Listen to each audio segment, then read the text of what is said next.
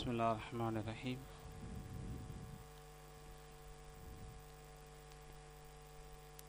ان الحمد للہ نحمد نسلی علی رسول الکریم، اما بعد۔ فاعوذ باللہ من الشیطان الرجیم، بسم اللہ الرحمن الرحیم۔ وما آتاکم الرسول فخذوه وما نہاکم عنه فانتهوه واتقوا الله إن الله شديد العقاب آمنت بالله صدق الله مولانا العظيم وصدق رسوله النبي الكريم ونحن على ذلك من الشاهدين والشاكرين والحمد لله رب العالمين புகழனைத்தும் அல்ல ரஹ்மான் அல்லாஹ் ஒருவனுக்கே உரித்தாகட்டுமாக சலாத்தும் சலாமும் கண்மணி நாயகம் ரசூல் அக்ரம் சல்லல்லாஹு தாலா வசல்லம் அன்னவர்கள் மீதும் அன்னாரின் வழியை பின்பற்றி நமக்கு வழிகாட்டிகளாக விளங்குகிற சங்கைக்குரிய சஹாபாக்கள் தாபெயின்கள் தபா தாபெயின்கள் நல்லோர்கள் நாதாக்கள் மற்றும் நம் அனைவர் மீதும் என்றும் நின்று நிலவட்டுமாக. சங்கைக்குரியவர்களே இன்றைய பதினைந்தாவது ரக்காத்தில் சூரத்துல் ஹஷருடைய ஏழாவது ஆயத்தை இமாம் எழுதினார்கள். ஒமா ஆத்தாக்கும் ஒரு ரசூல் ஃபஹுது. இந்த தூதர் உங்களிடத்தில் எதை கொண்டு வந்திருக்கிறார்களோ அதை நீங்கள் எடுத்துக்கொள்ளுங்கள் ஒமா நஹாக்கும் அன்ஹு பந்தஹு எதை விட்டும் உங்களை அவர் தடை செய்திருக்கிறாரோ அதை தவிந்து கொள்ளுங்கள் என்று அல்லாஹ் இந்த ஆயத்திலே கூறுகிறார் ரசூலுல்லாஹி சல்லாஹ் அலிவல்லாம் அவர்கள் நமக்கு குரானையும் கொண்டு வந்து தந்தார்கள் ஹதீஸையும் கொண்டு வந்தார்கள். நேற்றைய பயானில் ஹதீஸ் என்றால் என்ன சுண்ணத் என்றால் என்ன ரெண்டுக்கும் மத்தியில் என்னென்ன வித்தியாசங்கள் இருக்கிறது என்பதை பார்த்தோம். அதே போல ஹதீஸாக இருக்கக்கூடியவைகள் ஆனால் சுண்ணத் அல்ல. இதை ஹதீஸாக மட்டும்தான் பார்க்க வேண்டும். சுண்ணத்தாக அதை எடுத்து நடக்கக்கூடாது. ஏனென்றால் அது காலாவதியாகிவிட்ட ஹதீஸுகள். அந்த சட்டம் இப்போது கிடையாது. ஆரம்ப காலத்திலிருந்து இப்போது மாற்றப்பட்டு விட்டது. அந்த மாதிரியான விஷயங்கள் எல்லாம் ஹதீஸாக பார்க்க வேண்டும். சுண்ணத்தாக எடுத்துக்கொள்ளக்கூடாது அதே போல நபி அவர்களுக்கென்று குறிப்பாக அல்லாஹ் தந்திருக்கக்கூடிய சில சலுகைகள் இருக்கிறது. அதை உம்மத்து எடுத்துக்கொள்ளக்கூடாது அவர்களுக்கு மட்டுமே சொந்தமானது. அதையும் ஹதீஸாகத்தான் பார்க்க வேண்டும். அதே போல சில தேவைகளின் அடிப்படையில் சில நிர்பந்தத்தின் அடிப்படையில் நபிசுல்லா அலிஸ்லாம் அவர்கள் செய்து காட்டிய சில காரியங்கள் இருக்கிறது. அது போன்ற நிர்பந்தம் அது போன்ற தேவைகள் யாருக்காவது ஏற்பட்டால் அப்போது அந்த ஹதீஸின் அடிப்படையில் பெருமானாரை அவர் பின் பின்பற்றி நடக்கலாம். இது பொதுவான அனுமதி அல்ல. எல்லா சந்தர்ப்பத்திலும் அந்த ஹதீஸை பின்பற்றக்கூடாது. இந்த மூன்று விஷயங்களுக்கும் பல உதாரணங்களை எல்லாம் நம்ம பார்த்தோம். இதெல்லாம் வந்து ஹதீஸுகள் ஆனால் சுண்ணத்தல்ல. ஹதீஸுகள் ஆனால் சுண்ணத்தல்ல. இன்னைக்கு நம்ம பார்க்க போறது சுண்ணத்து ஆனால் ஹதீஸ் அல்ல. ஹதீஸ்னா நாலு விஷயங்கள். நபிசல்லா அலுவலாம் அவர்கள் சொன்னது அவங்க செஞ்சது அவங்க அங்கீகாரம் கொடுத்தது நபிசல்லா அலுவலம் அவர்கள் எப்படி இருந்தார்கள்? அவர்களுடைய உருவத் தோற்றத்தை பற்றி வந்திருக்கக்கூடிய சஹாபாக்களுடைய வர்ணனைகள் இந்த நாளுக்கு தான் ஹதீஸ்ன்னு சொல்லப்படும். சுன்னத் என்று சொன்னால் நபிசல்லா அலிஸ்லாம் அவர்கள் செய்து காட்டியதும் சுன்னத்து நபிசல்லா அலிஸ்லாம் அவர்களுக்கு பின்னாடி நான்கு ஹலீஃபாக்கள் ஆட்சி செஞ்சாங்க. அந்த நான்கு ஹலீஃபாக்கள் நபிசலாசனுடைய காலத்தில் இல்லாத சில நடைமுறைகளை சில காரியங்களை அவர்களுடைய ஆட்சி காலத்தில் நடைமுறைப்படுத்தினார்கள். அவையும் சுண்ணத்து. ஆனால் இந்த சுண்ணத்து வந்து ஹதீஸ் அல்ல. நபிசல்லா அலுவலாம் அவர்கள் செய்தது ஹதீஸாவும் இருக்கும் சுண்ணத்தாகவும் இருக்கும். ஆனால் இந்த நான்கு ஹலீஃபாக்கள் செஞ்சது இருக்குது இது ஹதீஸ் அல்ல ஆனால் சுண்ணத். இந்த ஹலீஃபாக்கள் செஞ்சது சுண்ணத்துங்கிறதுக்கு என்ன ஆதாரம்? நபிசல்லா அலுவலம் அவர்களே தெளிவாக சொல்லியிருக்கிறாங்க அலைக்கும் பி சுண்ணத்தி. என்னுடைய சுண்ணத்தை நீங்கள் உறுதியாக கடைபிடியுங்கள் வ சுண்ணத்தில் ஹுலஃபா இர் ராஷிதீன் அல் மஹதியீன் எனக்கு பின்னால் நேர்வழி பெற்ற நேர்வழி காட்டக்கூடிய என்னுடைய ஹலீஃபாக்களுடைய சுண்ணத்துகளையும் நீங்கள் பின்பற்றுங்கள். வ தமஸ்ஸகு பிஹா. அந்த சுண்ணத்துகளை நீங்கள் உறுதியாக பற்றி பிடியுங்கள். வல்லு அலைஹா பின் நவாஜிதி உங்கள் கடவாய் பற்களால் அதை கடித்து கொள்ளுங்கள் என்பதாக நபிசல்லா ஸல்லல்லாஹு உறுதிப்படுத்தி சொன்னாங்க. என்னுடைய சுண்ணத்தையும் நீங்கள் கடைபிடியுங்கள் எனக்கு பின்னால் நேர் காட்டக்கூடிய ஹலீஃபாக்களுடைய சுண்ணத்துகளையும் கடைபிடியுங்கள்னு சொல்லிட்டு போயிட்டாங்க. எந்த விதமான குழப்பத்துக்கும் இடமில்லாமல் நபிசல்லா அலுவலம் ஹயாத்தாக இருக்கும்போதே தெளிவாக சொல்லிட்டாங்க. எனக்கு பின்னாடி யாரெல்லாம் என்னுடைய ஹலீஃபாக்களாக ஆட்சிக்கு வர்றாங்களோ அவர்கள் என்னுடைய காலத்தில் இல்லாத சில சட்டங்களை அவர்கள் விதிப்பார்களேயானால் சில நடைமுறைகளை உருவாக்குவார்களேயானால் அதையும் நீங்கள் பற்றி பிடியுங்கள். ஏன்னா அதுவும் என்னுடைய சுண்ணத்து மாதிரி தான் நபிசுல்லாசமுடைய காலத்தில் வந்து இஸ்லாம் வந்து நேஷனலாக இருந்துச்சு. ஆனால் ஹலீஃபாக்குடைய காலத்தில் இன்டர்நேஷனல் ஆயிடுச்சு பெருமானாருடைய காலத்தில் அரபு தேசம் வரைக்கும் தான் இஸ்லாம் பரவி இருந்துச்சு ஆனால் நபியருடைய காலத்துக்கு பின்னாடி ஹலீஃபாக்கள் ஆட்சிக்கு வருவாங்க. அவங்க காலத்தில் அரபு தேசத்தை விட்டு மற்ற இடங்களுக்கெல்லாம் இஸ்லாம் பரவும் என்பது நபி அவர்களுக்கு தெரியும். ஏனென்றால் இஸ்லாம் என்பது அரபு தேசத்துக்கு மட்டும் சொந்தமான மார்க்கம் அல்ல உலகளாவிய மார்க்கம். அப்போ உலகளாவிய மார்க்கமாக அரபு தேசத்தை விட்டு வெளியில் இஸ்லாம் பரவும் போது சமூகம் சார்ந்த அரசியல் சார்ந்த சில காரணங்களுக்காக வேண்டி ஆட்சியாளர்கள் சில சட்டங்களை ஏற்படுத்த வேண்டும். சில நடைமுறைகளை விதிக்க வேண்டிய தேவை ஏற்படும். அப்படி அந்த ஆட்சியாளர்கள் சட்டங்களை உருவாக்கும் போது மக்கள் என்ன சொல்லிடக்கூடாது? இது நபிசல்லா அலிஸ்லம் செய்யலையே. நீங்கள் ஏன் செய்கிறீங்க அவர்கள் செய்யாத ஒன்றை அவர்கள் போடாத ஒரு சட்டத்தை அவர்கள் கூறாத ஒரு விதிமுறையை நீங்கள் ஏன் உருவாக்கினீர்கள் நாங்கள் ஏற்றுக்கொள்ள மாட்டோம் என்கிற நிலை வந்துவிடக்கூடாது என்று கருதிதான். நபிசல்லா அலுவலம் ஹயாத்தாக இருக்கும் போதே தெளிவாக சொல்லிட்டாங்க. என்னுடைய சுண்ணத்தையும் எனக்கு பின்னால் உள்ள ஆட்சியாளருடைய சுண்ணத்தையும் நீங்கள் கடைபிடியுங்கள். இப்போ அந்த அடிப்படையில் முதல் ஹலீஃபாவாக அபுபக்கர் சித்திக் ரதி எல்லாம் வந்தாங்க. அவங்க வந்த சமயத்தில் முஸ்லிம்கள்ல மூன்று விதமான கூட்டத்தினர் இருந்தாங்க. ஒரு கூட்டம் அல்லாஹ் ரசூலை பின்பற்றக்கூடிய சஹாபாக்கள் சஹாபாக்கள் தாபீன்கள். இன்னொரு கூட்டம் முசைலமத்துல் கதாபை பின்பற்றக்கூடிய கூட்டம். இறுதி நபி முசைலமா என்று ஒருவன் எமாமால இருந்தான். அவனை வந்து நபி என்று ஏற்றுக்கொண்டு அவனுக்கு பின்னால் முஸ்லீம்களில் சில பேர் சென்று விட்டார்கள். அப்படி ஒரு கூட்டம் இருந்துச்சு. அவன் பொய்யான நபி தன்னை இறைவனின் தூதர் என்பதாக வாதிட்டு மக்களை ஏமாற்றி கொண்டு குழப்பம் செய்து கொண்டிருந்தான். அதில் தபுபக்கரது அல்லாஹத்தால் அன்கு ஒரு பெரும் படையை அனுப்பி வைத்து அவனோடு போர் செய்து அவனை கொன்றார்கள். அந்த கூட்டமே இல்லாமல் போயிடுச்சு அந்த ஃபித்னாவை அவங்க காலத்திலே ஒழிச்சிட்டாங்க. மூணாவது ஒரு கூட்டம் இப்படி உருவாச்சு. நாங்கள் தொழுவோம் நோன்பு வைப்போம் ஆனால் ஜக்காத்து மட்டும் கொடுக்க மாட்டோம். இப்போ இந்த கூட்டத்துக்கு எதிராக அதில் தபுபக்கரதிலான்ஹு போர் செய்வேன் என்று பிரகடனப்படுத்தினாங்க. நபியுடைய காலத்தில் வந்து ஜக்காத்து கொடுத்து வந்த நீங்கள் இப்போ ஜக்காத்து கொடுக்க மறுத்தீர்களேயானால் உங்களோடு நான் யுத்தம் செய்வேன் யுத்தத்தில் உங்களை தோற்கடிப்பேன் நாங்கள் சஹாபாக்களே சில பேர் வந்து ஆட்சேபனை செஞ்சாங்க. காஃபிர்களோட தானே யுத்தம் செய்யணும். நபிசல்லாசனம் அப்படித்தானே செஞ்சாங்க. முஸ்லீம்களோட செய்யலையே. இவங்க தொழுகிறாங்க நோன்பு வைக்கிறாங்க முஸ்லீமாக இருக்கிறாங்க. இவங்களோட நீங்கள் எப்படி யுத்தம் செய்வீங்க அப்படின்னு ஹலீஃபாட்டையே கேட்டாங்க. ஆனால் அதில் தபுபக்கர் ரொம்ப உறுதியாக இருந்தாங்க. இல்லை நான் யுத்தம் செஞ்சு தான் தீருவேன். ஜக்காத்துங்கிறது சாதாரண கடமை அல்ல. மகத்தான ஒரு முக்கிய கடமை. தொழுகையோடு சேர்த்து அல்லாஹத்தாலா திருக்குறானில் இருபத்தி ஏழு இடங்களில் சொல்லியிருக்கிறான். அவங்களோட யுத்தம் செஞ்சே தீருவேன் உறுதியை சொன்னதுனால சஹாபாக்கள் அதுக்கு பின்னாடி உண்மையை வழங்கிட்டாங்க. அதில் தபூபக்கர் சொல்கிறதான் நியாயம் என்று வழங்கிட்டாங்க. அதற்கு அபூபக்கருடைய உறுதியை பார்த்தோன்னா அந்த கூட்டத்தார்களும் பயந்து போய் பணிந்து வந்து ஜக்காத்து கொடுக்க ஆரம்பிச்சிட்டாங்க. இப்போ இது வந்து அதற்கு அபூபக்ரதிலாவுடைய சுண்ணத்து.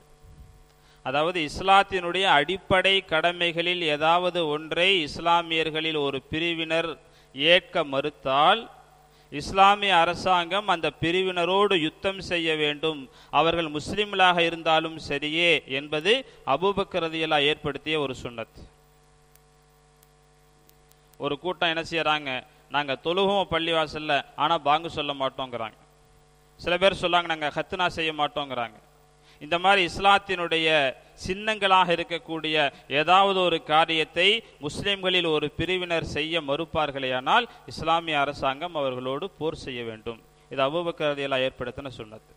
அதே மாதிரி அபூபக்கரதியிலா இன்னொரு சுண்ணத்தை ஏற்படுத்தினாங்க. நபிசுலாசமுடைய காலத்தில் குரான் ஒரு தொகுப்பாக தொகுக்கப்படவில்லை. பல சஹாபாக்கள் தனித்தனியாக பல விஷயங்களை எழுதி வச்சிருந்தாங்க. சிலர் மனப்பாடம் பண்ணியிருந்தாங்க. ஆனா பெருமானாருடைய காலத்துக்கு பின்னாடி உமர் ரதியல்லா தலானு வலியுறுத்தினாங்க. யமாமா போரில் நிறைய ஹாஃபிதுகள் ஷஹீதாயிட்டாங்க. இப்படியே போனால் குரானை மரணம் செய்தவர்கள் கொஞ்சம் கொஞ்சமாக குறைந்து கொண்டே வந்து விடுவார்கள். அதனால் குரானை பாதுகாக்க இயலாது போய்விடும். எனவே நீங்கள் உடனே ஒரு முடிவெடுத்து அதை ஒரு முழு தொகுப்பாக ஏற்பாடு செய்யுங்கள்னு சொன்னாங்க. அபூபக்கர் ரதியெல்லாம் முதல்ல அதுக்கு ஒத்துழைக்கல. அவங்க பெருமானார் செய்யாத ஒரு காரியத்தை செய்ய மாட்டேன்னு மறுத்தாங்க. ஆனால் அதுக்கு பின்னாடி அதனுடைய அவசியத்தை உணர்ந்து ஜெய்துமுனு சாபித் அவர்களுடைய தலைமையில் அந்த குரானை ஒன்று சேர்க்கக்கூடிய ஒரு பணியை செஞ்சு முடித்தாங்க இதுவும் நபியுடைய காலத்தில் செய்யப்படாத ஒரு பணி அபுபக்கரதியெல்லாம் செஞ்சாங்க. இரண்டாவது ஹலீஃபாவாக உமரதி அல்லாஹலான் அவங்க காலத்தில் இஸ்லாம் பல இடங்களுக்கு பரவுச்சு. ரோம தேசத்தில் பாரசீக தேசத்தில் ஷாம் தேசத்தில் இஸ்லாம் காலூன்றியது. அப்ப நிறைய மக்கள் இஸ்லாம் அல்லாத அதாவது அரபுகள் அல்லாத பல மக்கள் இஸ்லாத்துக்கு வந்த காரணத்தினால சமூகம் சார்ந்த அரசியல் சார்ந்த பல்வேறு நடவடிக்கைகளை அதில் துமரதையெல்லாம் ஏற்படுத்தினாங்க. நம்ம ஏற்கனவே சந்திராண்டு பத்தி சொல்லியிருக்கிறோம். ஹிஜ்ரி வருஷத்தை அதில் துமரதையெல்லாம் உருவாக்கினாங்க. பெருமானாருடைய காலத்தில் இஸ்லாமியர்களுக்குன்னு தனி ஆண்டு கணக்கு கிடையாது. அபுபக்ரதிலாவுடைய காலத்திலையும் கிடையாது. உமரதிலாவுடைய காலத்தில் அதனுடைய முக்கியத்துவம் கருதி ஹிஜ்ரி ஆண்டை உருவாக்கினாங்க. அதே மாதிரி மதுவை அல்லாஹத்தாலா நபியுடைய காலத்திலேயே தடை செஞ்சிட்டான். மது ஹராம் என்று. ஆனால் மது குடித்தா என்ன தண்டனை? குரான்லேயோ ஹதீஸ்லேயோ தெளிவாக ஒன்றும் வரல. சஹாபாக்களுடைய காலத்தில் மது குடிச்சிட்டு யாராவது வந்தால் என்ன செய்வாங்கன்னா எல்லாரும் வந்து சேர்ந்து அவர் பிடிச்சி அடிப்பாங்க. சில பேர் செருப்பை கழட்டி அடிப்பாங்க சில பேர் கையில் அடிப்பாங்க சில பேர் குச்சியில் அடிப்பாங்க. அப்படி தான் தண்டனை கொடுத்துட்டு இருந்தாங்க. ஒரு முறையான ஒரு தண்டனை இல்லை. அதனால் வந்து குடிக்கக்கூடியவர்கள் கொஞ்சம் அதிகமாயிட்டு இருந்தாங்க. கேட்டால் தண்டனை இல்லையில தண்டனை இல்லைன்னா அப்போ கூடும் தான் அர்த்தம் என்பதாக வியாக்கியானம் பேசிட்டு இருந்தாங்க. உமரதியிலா பார்த்தாங்க இது இப்படி விட்டால் சரி வராது. ஏதோ ஒரு முடிவு பண்ணுன்னு சொல்லி ஒரு மசூரா பண்ணி எண்பது கசையடை கொடுக்கணுன்னாங்க அவதூரை பரப்பினால் எண்பது கசையடி கொடுக்கணும். இப்போ குடித்தான் அப்படின்னு சொன்னால் அவன் குடி குடிகாரனுடைய வாயிலிருந்து என்ன வேணாலும் வரும். அவன் என்ன பேசுகிறான்னு அவனுக்கே தெரியாது. அப்போ அவதூறான விஷயங்களையும் அவன் சொல்ல ஆரம்பித்து விடுவான். எனவே அவதூறுக்கென்று இஸ்லாம் சொல்லியிருக்கிற எண்பது கசடியை மது குடித்தவனுக்கும் கொடுக்க வேண்டும் என்று ஒரு சட்டத்தை அவங்க ஏற்றினாங்க. இது உமரதிலாவுடைய சுண்ணத்தாக இருக்குது. அதே மாதிரி நம்ம தராவி தொழுகிற ரம்ஜானில் ரமதானுடைய மாதம் முழுவதும் இருபது ரக்காத்துகள் இமாமுக்கு பின்னாடி நம்ம தொழுகிறோமே இதுவும் உமரதியலா ஏற்படுத்தின சுண்ணத் நபிசல்லா அஸ்லாம் வந்து வெறும் மூணு நாள் மட்டும் தொழு வச்சாங்க. நாலாவது நாள் வரல. ஏன்னா வந்தேன் அப்படின்னு சொன்னால் நீங்கள் எல்லாம் வந்துடுவீங்க இது உங்களுக்கு கடமையாக ஆயிருமோன்னு சொல்லி நான் பயப்படுறேன்னு சொல்லி நபி சொல்லா அலிஸ்லாம் மூணு நாள் மட்டும் தொழு வச்சு காட்டினாங்க. அதுக்கப்புறம் சஹாபாக்கள் என்ன செஞ்சாங்க? தனிப்பட்ட முறையில் சில பேர் ஜமாத்தா தொழுதாங்க சில பேர் தனியாக தொழுதாங்க சில பேர் பத்து ரக்காத்து சில பேர் இருபது ரக்காத்து. யாருக்கு என்ன விருப்பமோ அப்படி தொழுதுட்டு இருந்தாங்க. நபி அவருடைய காலத்தில் அப்படித்தான் நடந்துச்சு அபுபக்கருடைய காலத்தில் அப்படித்தான் நடந்துச்சு. உமரதியாவுடைய காலத்தில் அவங்க ஒரு தடவை ரம்ஜானில் பள்ளிவாசலுக்குள்ளே வந்து பார்த்தா எல்லாரும் தனித்தனியாக தொழுதுட்டு இருக்காங்க. சில பேர் ஜமாத்தா சில பேர் தனியாக சில பேர் சீக்கிரம் தொழுதுறாங்க சில பேர் லேட்டாக தொழுகிறாங்க அப்போ யோசிச்சாங்க இவங்க எல்லாத்தையும் வந்து ஒரு இமாமுக்கு பின்னாடி ஒரு சஃபா நிற்க வச்சு தொழு வச்சா நல்லா இருக்குமே அப்படின்னு யோசனை பண்ணி இருபது ரக்காத்து தொழுன்னு சொல்லி உபயபுனு காபுரதியாவுடைய தலைமையில் தராவிய ரமதான் முழுவதுமே இருபது ரக்காத் தொழ வேண்டும் அப்படிங்கிற ஒரு சட்டத்தை ஏற்படுத்தினாங்க. இன்னைக்கு அல்லாஹுடைய கிருபையில் முழு உலகத்திலும் அந்த சட்டம் நடைமுறையில் இருக்கு. இது உமரதியில் ஏற்படுத்தின சுண்ணத்தா இருக்கு. அதே மாதிரி முஸ்லீம் அல்லாதவர்கள் இஸ்லாமிய நாட்டிலே தங்குவதாக இருந்தால் அவர்கள் மாதா மாதம் கப்பம் கட்ட வேண்டும். ஜிசியா என்று சொல்லக்கூடிய பாதுகாப்பு வரியை இஸ்லாமிய அரசாங்கத்துக்கு செலுத்த வேண்டும். அப்படி அவர்கள் வரி செலுத்தினால் அவர்களுக்கு முழு பாதுகாப்பு தரப்படும். ஒரு முஸ்லிமுக்கு என்ன பாதுகாப்பை அரசாங்கம் கொடுக்குமோ அதே பாதுகாப்பை விம்மிகளுக்கும் கொடுக்கும் அப்படிங்கிற ஒரு நடைமுறை சட்டத்தை ஏற்படுத்தி விம்மிகளிடத்திலிருந்து வரி வசூல் செய்யக்கூடிய ஒரு சட்டத்தை அதில் துமரதையெல்லாம் உண்டாக்குனாங்க. அவனுடைய காலத்தில் ஈராக் வெற்றி கொள்ளப்பட்டுச்சு. ஈராக் வெற்றி கொள்ளப்பட்ட சமயத்தில் பொதுவாக ஒரு போரில் முஸ்லிம்களுக்கு வெற்றி கிடைத்தால் எதிரிகள் விட்டு செல்லக்கூடிய பகுதிகள் அவர்களுடைய நிலங்கள் அவருடைய பொருட்களை இஸ்லாமிய அரசாங்கம் எடுத்துக்கொண்டு அதை போரில் கலந்து கொண்டவர்களுக்கு பிரித்து கொடுத்து விடும். யார் யார் போரில் கலந்துக்கிட்டாங்களோ அவங்களுக்கு அந்த பொருட்களையும் நிலங்களையும் அந்த விளைச்சல்களையும் பிரித்து கொடுத்து விடும். இப்படி தான் பழக்கம் இருந்துச்சு. ஆனால் ஈராக் வெற்றி கொள்ளப்பட்ட சமயத்தில் அந்த சட்டத்தை உமரதையெல்லாம் மாற்றினாங்க அப்போ வந்து பைத்துல் மாலுக்கு கொஞ்சம் அதிக தேவை இருந்ததுனால அந்த கனிமத்து பொருள்கள் அனைத்தையும் இஸ்லாமிய அரசாங்கம் எடுத்துக்கொள்ளும். போரில் பங்கு பெற்றவர்களுக்கு அது கிடையாது அப்படின்னு ஒரு சட்டத்தை ஏற்படுத்தினாங்க. இந்த மாதிரியாக அரசியல் சார்ந்த சமூகம் சார்ந்த பல சட்டங்களை சுண்ணத்துகளாக துமரதையிலா ஏற்படுத்தினாங்க. சஹாபாக்கள் எல்லாருமே அதை ஏற்றுக்கிட்டாங்க முரதையிலா செஞ்சால் அது கரெக்டாக இருக்கும் அது சரியாக இருக்கும்னு சொல்லி எல்லாருமே ஏற்றுக்கொண்டாங்க மூணாவதாக ஹலீஃபா உஸ்மான் ரதியலா வந்தாங்க. அவங்களும் பல சீர்திருத்த நடவடிக்கைகளை மேற்கொண்டாங்க. அதில் முக்கியமான ரெண்டு விஷயங்கள் என்ன அப்படின்னு சொன்னால் வெள்ளிக்கிழமை ஜும்மா அன்னைக்கு வக்து வந்தோன்னா நம்ம ஒரு பாங்கு சொல்கிறோம் பன்னெண்டு நாற்பதுக்கு வக்து வருதுன்னு சொன்னால் பன்னெண்டு நாற்பதுக்கு வெள்ளிக்கிழமையில ஒரு பாங்கு சொல்கிறோம் அப்புறம் இமாம் மிம்பரில் ஏறி உட்கார்ந்ததுக்கு பின்னாடி இமாமுக்கு முன்னாடி வந்து ஒரு பாங்கு சொல்கிறோம் இப்போ வக்து வந்தோன்னே சொல்லப்படக்கூடிய பாங்கு இருக்குது. இதை வந்து உஸ்மான் ரதியெல்லாம் தான் ஏற்படுத்தினாங்க. நபிசலாசமுடைய காலத்திலையும் சரி அபுபக்கரதிலாவுடைய காலத்திலையும் உமரதிலாவுடைய காலத்திலையும் இமாம் மிம்பரில் ஏறினதுக்கு பின்னாடி சொல்லப்படுற அந்த பாங்கு மட்டும்தான் இருந்துச்சு. வக்து வந்தோடனே பன்னெண்டரை பன்னெண்டு நாற்பதுக்கு சொல்கிற அந்த பாங்கு நடைமுறையில் இல்லை. இப்போ உஸ்மான் ரதிலாவுடைய காலத்தில் வந்து மதினா ரொம்ப விரிவாக பெரிய சிட்டியாக மாறிடுச்சு அப்போ தூரமான இடத்துல இருந்து ஜும்மா துலைக்கு மஸ்ஜித் நபவிக்கு வர்றவங்களுக்கு பாங்கு சத்தம் கேட்டோன்னு அவங்க கிளம்பி வர்றதுக்குள்ளே இங்கே தொழுகை முடிஞ்சிடும் ஏன்னா குத்துமா முடிஞ்சோன்னா தொழுகை. அப்போ சில பேர்த்துக்கு வந்து ஒரு சில ரக்காத்து தவறி போயிடும் சில பேர்த்துக்கு குத்துபா தவறி போயிடும் அதனால் மக்கள் விரும்பினாங்க ஜும்மா தொலகைக்கு தயாராகிறதுக்காக ஒரு பாங்கு சொன்னால் நல்லா இருக்கும்ட்டு அதில் சுமாரதி இல்லா தலான்னு அப்படி ஒரு பாங்கு சொல்ல சொல்லி மதினாவினுடைய கடைவீதி ஜவுரான்னு சொல்லக்கூடிய கடைவீதியில் ஒரு மதினை ஏற்பாடு பண்ணி ஜும்மா அன்னைக்கு ரெண்டு பாங்கு. இமாம் மிம்பரில் இருக்கும்போது ஒரு பாங்கு அதுக்கு முன்னாடி வக்து வந்தோன்னா ஒரு பாங்கு சொல்லக்கூடிய அந்த நடைமுறை சட்டத்தை உஸ்மான் ரதியெல்லாம் தான் ஏற்படுத்தினாங்க. இன்னைக்கு முழு உலகத்திலும் அந்த நடைமுறை பின்பற்றப்படுது கியாமத்து நாள் வரைக்கும். இது உஸ்மான் அப்படியே சுண்ணத்தாக இருக்குது அதுக்கடுத்து அவங்க செஞ்ச இன்னொரு மிக முக்கியமான காரியம் என்ன அப்படின்னு சொன்னால் முழு உலக முஸ்லீம்களையும் ஒரே பாஷையில் குரான் ஓதுறதுக்காக வேண்டி அவங்க ஏற்பாடு பண்ணாங்க. நபிசல்லா அலுவலாம் அவங்களுக்கு குரான் இறங்கும் போது குறைசிகளுடைய பாஷையில் தான் இறங்குச்சு. ஏன்னா மக்கால குறைசியல் தானே இருந்தாங்க. அவங்களுடைய பாஷையில் அவங்க எப்படி அரபி பேசுவாங்களோ அந்த அரபி துணியில தான் குரான் இறங்குச்சு. அதுக்கு பின்னாடி அரபி அல்லாதவங்க குறைசி அல்லாத அரபுகள் வந்து இஸ்லாத்துக்கு வந்தாங்க. அப்போ அவங்களுக்கு வந்து குறைசிகளுடைய அந்த அரபியை உச்சரிக்கிறது சிரமமாக இருந்ததுனால நபிசல்லா அலிஸ்லாம் அவங்க வந்து மேற்கொண்டு ஒரு ஆறு முறையில் அந்த குரானை ஓதுறதுக்கு அனுமதி கொடுத்தாங்க. அப்போ குறைஷி பாஷை ஒன்று மீதி ஆறு முறை மொத்தம் ஏழு முறை ஆச்சு நீங்கள் கேள்விப்பட்டிருப்பீங்க சபகராத்துன்னு சொல்லுவாங்க. சபகராத்து குரானை வந்து ஏழு முறையில் ஓதுறது. நம்ம தாவூதியா மரசால அந்த பாடத்திட்டம் இருக்குது. சபகாரின்னு சொல்கிறவங்க குரானை வந்து ஏழு முறையில் ஓதுறதுக்கு எழுதி காட்டி ஓதி காட்டி அவங்க அந்த சர்டிஃபிகேட் வாங்குவாங்க. இதை நபிசல்லா அலிஸ்லாம் அவங்க வந்து அரபு மக்களுடைய லேசுக்காக அனுமதி கொடுத்தாங்க. அதே மாதிரி யாருக்கு எப்படி வருமோ அந்த மாதிரி குரானை ஆறு முறை குரேஷியருடைய பாஷையோட சேர்த்து ஏழு முறையில் ஓதிட்டு இருந்தாங்க அப்புறம் இது என்னாச்சு அப்படின்னு சொன்னால் உஸ்மான் ரதில்லாவுடைய காலத்தில் அந்த ஆறு முறைங்கிறது ஏழு முறை எட்டு முறை பத்து முறை ஆகிட்டே போச்சு. எனக்கு வந்து இந்த மாதிரி ஓத வர மாட்டேங்குது அந்த மாதிரி ஓத வர மாட்டேங்குதுன்னு யார் எப்படி விரும்பினாங்களோ அப்படி ஓதிட்டு வந்தாங்க. இந்த விஷயம் வந்து உஸ்மான் ரதில்லாவுடைய கவனத்துக்கு வந்துச்சு. இப்படியே விட்டோம்னா குரான் வந்து கியாமத்து நாள் வரைக்கும் உள்ள வேதம். உலகம் முழுக்க பரவும். அப்போ எல்லாரும் என்ன செய்வாங்க? அவங்களுக்கு எப்படி ஓத வருமோ அப்படி ஓத ஆரம்பிச்சிருவாங்க. அப்போ குரானுடைய அர்த்தங்கள் மாறி போயிடும் அதனுடைய கருத்துக்கள் மாறி போயிடும்னு சொல்லி என்ன செஞ்சாங்க? ஒரே முறையில் தான் இனிமேல் ஓதணும். ஆள் ஆளுக்கு வேறுபட்ட முறையில் ஓதக்கூடாதுன்னு சொல்லி உமரதிலாவுடைய வஃபாத்துக்கு பின்னாடி அபுபக்கரதிலா வந்து குரான் என்ன செஞ்சாங்க? ஒரு தொகுப்பாக்குனாங்க.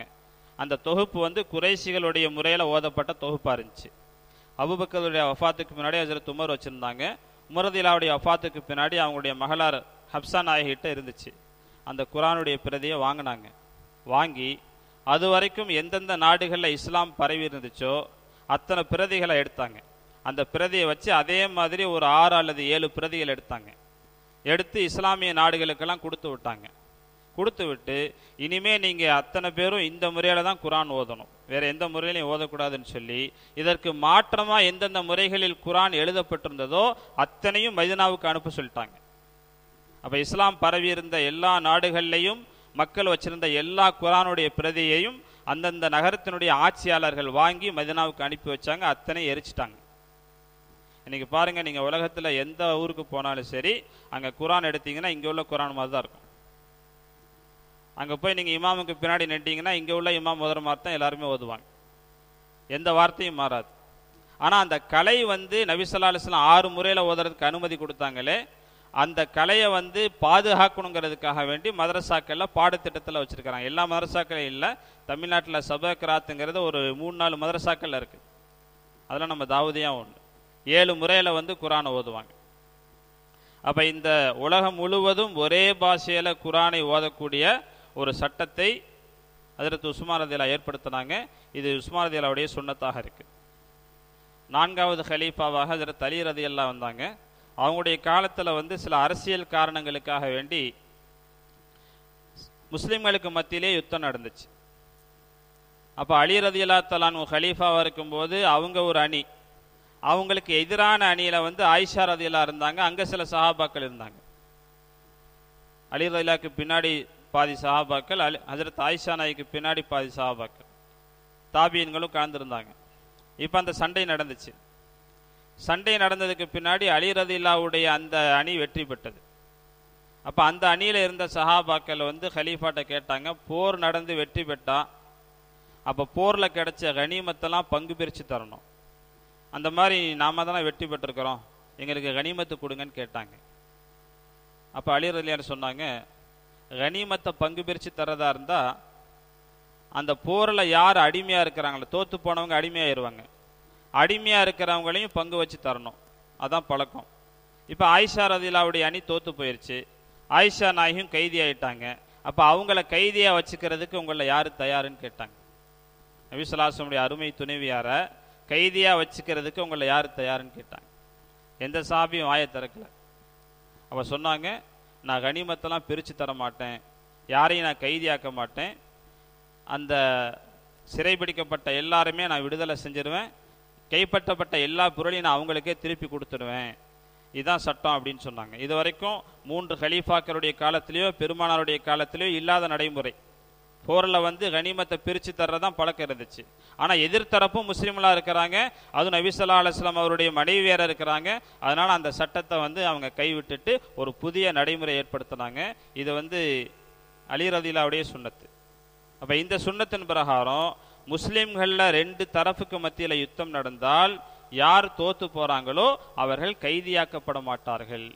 அவர்களுடைய செல்வங்கள் எல்லாம் கனிமத்தாக கருதப்படாது அப்படிங்கிற ஒரு சுண்ணத்தை அழியறது எல்லாம் ஏற்படுத்தினாங்க. இப்போ இந்த மாதிரி நபிசுலாசமுடைய காலத்தில் இல்லாத நான்கு ஹலீஃபாக்கள் ஏற்படுத்தின சுண்ணத்து இருக்குது. இதுவும் சுண்ணத்து தான் ஆனால் ஹதீஸ் அல்ல. இப்போ வந்து நம்ம மூன்று விஷயம் தெரிஞ்சுக்கிட்டோம். ஒன்று வந்து ஹதீஸாகவும் இருக்கும் சுண்ணத்தாகவும் இருக்கும். நபிசலாசனை இப்படி தொழுதாங்க இப்படி ஹஜ்ஜு செஞ்சாங்க இப்படி உம்ரா செஞ்சாங்கன்னு பல ஹதீஸ் வருது. இப்படி சாப்பிட்டாங்க இப்படி தண்ணி குடிச்சாங்க இப்படி தூங்கினாங்கன்ட்டு. இது ஹதீஸாகவும் இருக்கும் சுண்ணத்தாவும் இருக்கும். அதில் எந்த பிரச்சனையும் இல்லை. ஆனால் ஹதீஸ் இல்லாத சுண்ணத்தும் இருக்குது சுண்ணத்து இல்லாத ஹதீஸும் இருக்குது. தவறான கொள்கையில் இருக்கிறவங்க நம்மளை வந்து தங்கள் பக்கம் இழுக்கிறதுக்காக வேண்டி இந்த மாதிரியான ஹதீஸை தான் பயன்படுத்துவாங்க. பாருங்க தொழுகையில் பேசலான்னு ஹதீஸ் இருக்குது. புகாரில் இருக்கு பாருங்கன்னு ஹதீஸை காட்டுவாங்க. அப்போ நம்ம என்ன சொல்லுவோம் இது ஹதீஸ் தான் ஆனால் என்ன இல்லைங்க? சுண்ணத் இல்லை. நாம் வந்து சுண்ணத்தை தான் கடைபிடிக்கணும். ஹதீஸை நீங்கள் பின்பற்றுங்கள் ஹதீஸை கடைபிடிங்கள்ட்டு எந்த ஹதீஸும் கிடையாது.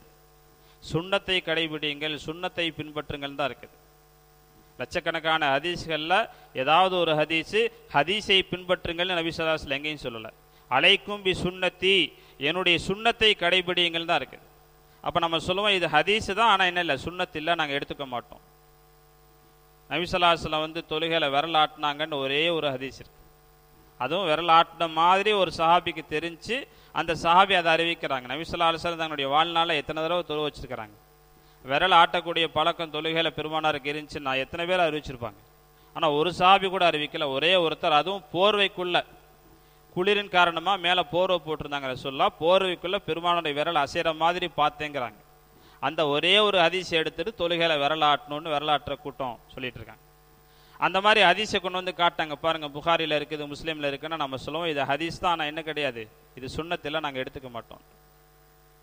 அதே மாதிரி தராவி வந்து எட்டு ரக்காத்தான் நபிசுல்லாசலம் தொழுது இருக்கிறாங்க இருபது ரக்காத்து ரம்ஜான் ஃபுல்லாக தொழுதது இல்லையே நீங்கள் ஏன் தொழுகிறீங்கன்னு கேட்டால் நம்ம சொல்லுவோம் இது வந்து உமரதிலாவுடைய சுண்ணத்து. உமரதிலாவுடைய சுண்ணத்தையும் என்னுடைய சுண்ணத்து மாதிரி கடைபிடிக்க சொல்லி ரசூலா நமக்கு சொல்லியிருக்கிறாங்க. ஓ சுண்ணத்தில் ஹொலஃபாய் ராசிதீன் எனவே நாங்கள் அந்த சுண்ணத்தையும் எடுத்துக்குவோம். நபி ஸல்லல்லாஹு செய்யல. ஆனால் சஹாபாக்கள் ஹலீஃபாக்கள் செஞ்சிருக்கிறாங்கன்னு சொன்னால் அதையும் நாம் கடைபிடிக்க வேண்டும் உறுதியாக கடைபிடிக்க வேண்டும் கடவாய்ப்பல்லால் கடித்து கொள்ள வேண்டும் சொல்லி உறுதிப்படுத்தி பெருமானார் சொல்லியிருக்கிறாங்க.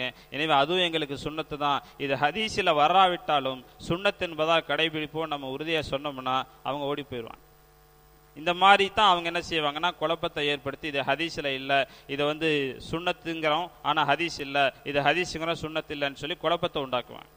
ஆக அல்லா ஜலஷானஹுத்தாலா ஹதீஸ்னா என்ன சுன்னத்துனா என்ன அந்த ரெண்டுக்கும் மத்திய உள்ள வித்தியாசங்கள் என்ன என்பதை விளங்கி அமல் செய்யக்கூடிய தோஃபிக்கை தந்துள்வானாக வாஹர் தாவானா அனில் அஹமதுல்லாஹி ரபில் ஆலமி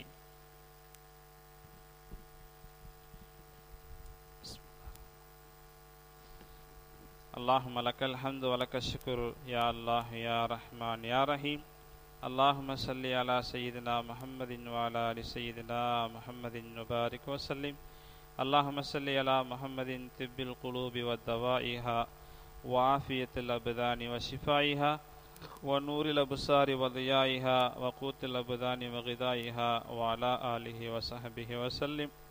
ربنا تقبل منا ما كان صالحا وأصلح لنا ما كان فاسدا. ربنا آت أنفسنا تقواها وزكيها. أنت خير من زكاها. أنت وليها ومولاها. اللهم احسن عاقبتنا في أمورنا كلها برحمتك يا أرحم الراحمين. اللهم اعتقنا من النار وادخلنا الجنة يا رب العالمين. ربنا آتنا في الدنيا حسنة وفي الآخرة حسنة وقنا عذاب النار.